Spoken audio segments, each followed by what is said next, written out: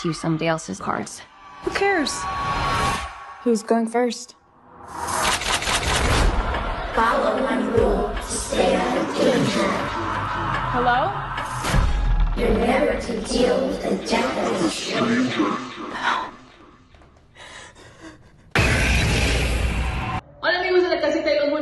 ¿Cómo están? Yo soy Dani Bu y hoy quiero recomendarles rapidísimo la película de terror El Tarot de la Muerte que está ahorita en cines.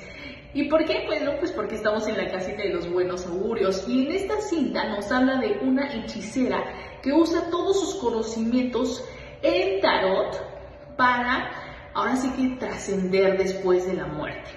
Pero no nada más eso, sino también para buscar venganza.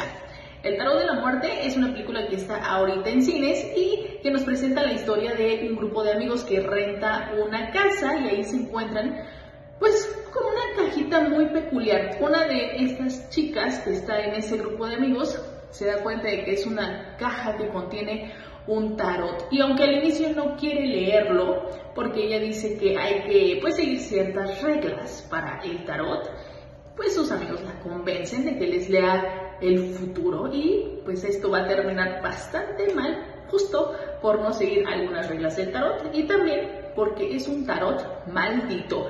Vayan a verla y nos cuentan aquí qué les pareció. Yo soy Dani Bu. Adiós.